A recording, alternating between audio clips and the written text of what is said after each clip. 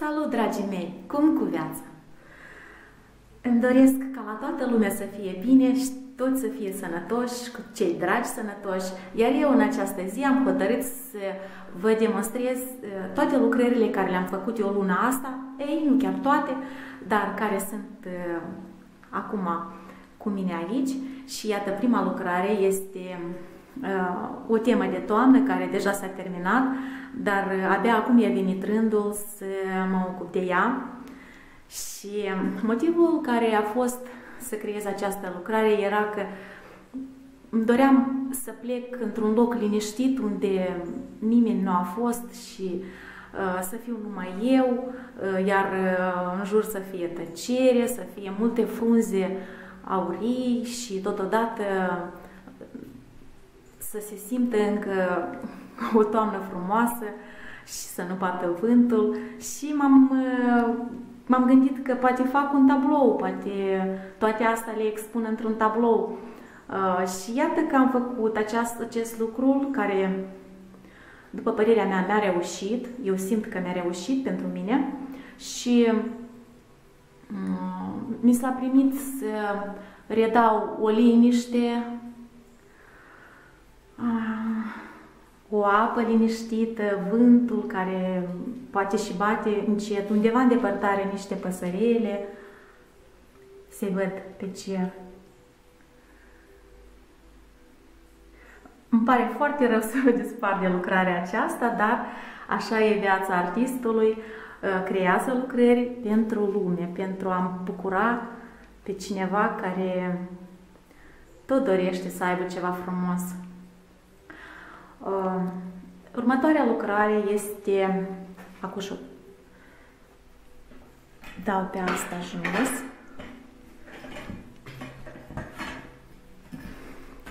Următoarea lucrare este o lucrare tot cu copac. Se numește Arborile Indiani și eu am uh, creat-o pentru a balansa energia uh, feminină și masculină, răul, binele. Uh,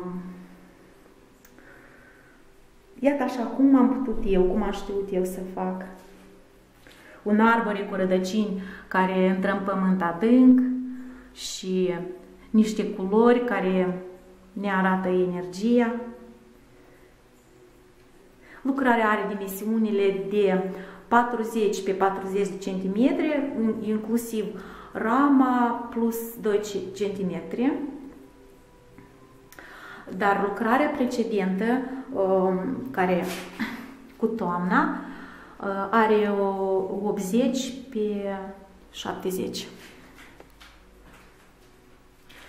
Și mai este încă o lucrare, dar această lucrare e îndeplinită din argilă polimerică.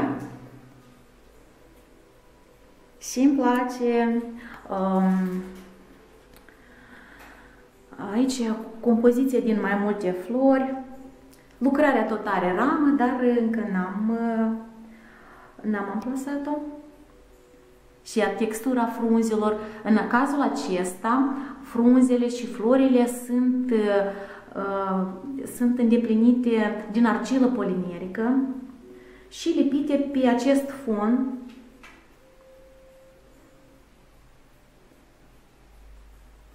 E o lucrare destul de bogată pe care am îndeplinit-o la comandă. Ea în curând uh, pleacă de la mine, de asta am hotărât să o filmez încă o dată. Apoi vreau să vă arăt încă o compoziție florală pe care am făcut-o uh, pentru cineva care o va cumpăra uh, pentru sărbătorile de anul nou și anume cu poinsettii. Iată lucrarea asta cu trandafiri și poinsettii care uh, ne arată simbolul Crăciunului. La noi nu e chiar atât de popular, dar cu timpul și ai noștri înțeleg ce, ce simbolizează această floare. Iată, aceasta este poinsettia. Motivul e că mie îmi place foarte mult cum arată această floare și cred că în curând o voi procura să o am și naturală în casă, pentru că îmi place foarte mult.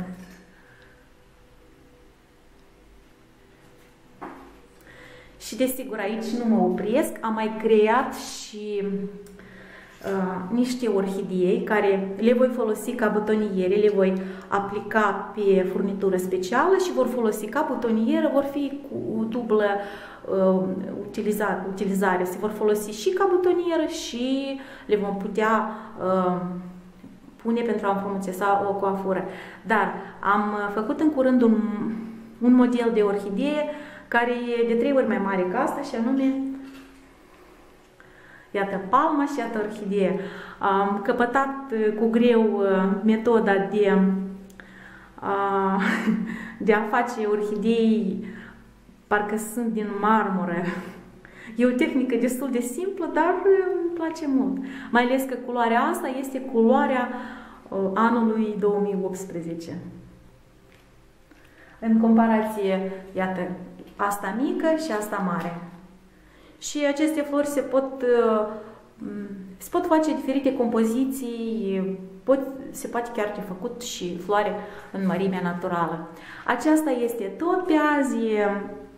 Așa s-a primit un video mai, mai lung, dar sper că v-a plăcut ceea ce fac eu și puteți să-mi scriți în comentarii ce nu v-a plăcut, pentru că sunt criticate și lucrările uh, celor mai mari pictori, dar eu uh, nu o să mă supăr dacă mă criticați. Bine, dar vă doresc tuturor o zi bună. Cu voi a fost Aleona Radulov. La revedere și să ne auzim numai de bine!